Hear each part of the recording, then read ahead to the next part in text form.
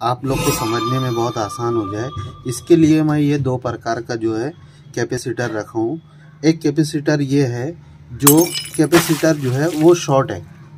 वो मैं मल्टीमीटर से चेक करके आप लोगों को बताऊँगा कि कैपेसिटर को चेक किस तरह करना है।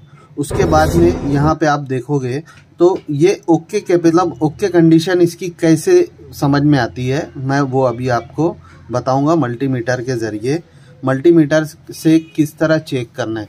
देखो, आप लोगों को अगर कोई भी कैपेसिटर रजिस्टर या ट्रांसिस्टर माउस पेड अगर उस पर कोई भी शक हो आपको कि ये शॉर्ट है या नहीं है तो आप उसको फाइनली जो है क्या कर सकते हो?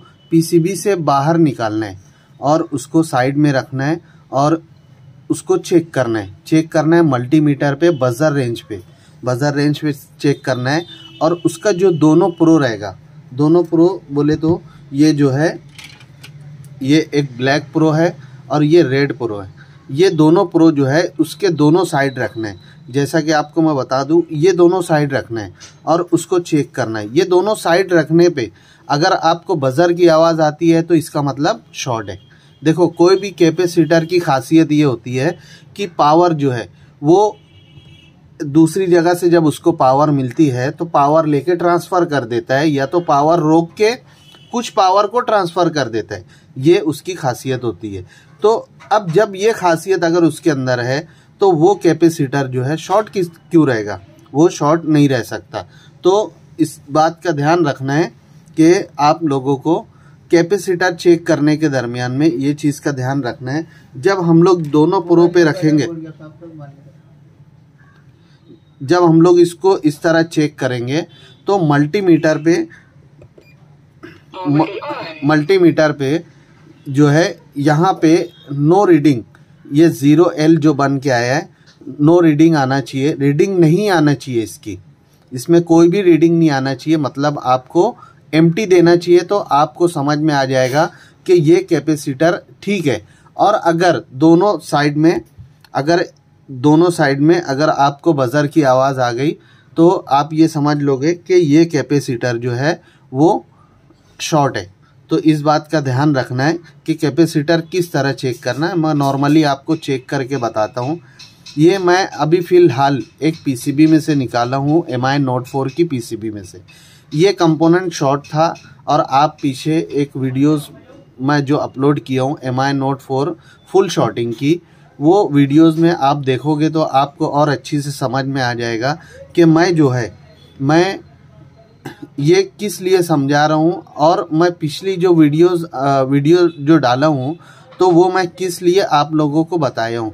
एक्चुअल में क्या होता है कि अगर बैटरी कनेक्टर पे शॉर्टिंग आती है तो सब डर जाते हैं कि सर फुल शॉर्ट है फुल शॉर्ट है, नहीं समझ में आ रहा है। अब एक बात को आपको समझना है कि बैटरी कनेक्टर पे अगर शॉर्टिंग आ रही है तो ये शॉर्टिंग जो है बैटरी कनेक्टर से लेके पीएमआईसी तक, यहाँ पे आपको इसकी शॉर्टिंग मिल जाएगी। मैं आपको बताता हूँ, मैं एम आई नोट फोर में से, मैं कहाँ से ये जो है कैपेसिटर निकाला हूँ। ये इसमें से कैपेसिटर निकाला हूँ मैं, और ये कैपेसिटर इसमें, ये पीसीबी में से निकाला हूँ। और ये कैपेसिटर इसमें लगाने वाले हैं तो मैं सोचा कि आप लोगों को मैं पहले ही वीडियो बना के आप लोग को बता देता हूँ कि कैपेसिटर किस तरह चेक किया जाता है। देखिए, ये जो है मल्टीमीटर जो है, उसको बज़र रेंज पे रखना है।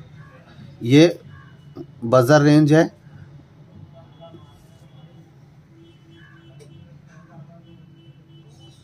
ये बज़र रेंज पे रखना है और उसके बाद में ये दोनों प्रो यूज़ करना है। अभी आप इसके ऊपर देखोगे कि मैं एक कैपेसिटर को मैं चेक करूँगा। ये कैपेसिटर को मैं जब चेक किया, आपको बज़र की आवाज़ आ रही होगी तो ये जो है कैपेसिटर शॉर्ट है। ये कैपेसिटर आपको पीसीबी में नहीं लगाना है, ये आपको इसी तरीके का दूसरा कैपेसिटर लगाना है। आप सोचोगे कि कैपेसिटर दूसरा कहाँ से लाना है? तो आपको नया नहीं मिलेगा। आपको दूसरी डेड पीसीबी में से निकाल के लगाना है। डेड पीसीबी में से आप किस तरह देखोगे कैपेसिटर को? कैपेसिटर की साइज़ देखना है और उसका कलर मैच करना है। देखिए, इसके अंदर जो है, बीच में ब्राउन कलर है और दोनों साइड जो है सिल्वर है। तो इस तरह का कैपेसिटर देख के आपको लगाना है। ये दूसरा वाला कैपेसिटर भी आपको चेक करके मैं बता देता हूँ।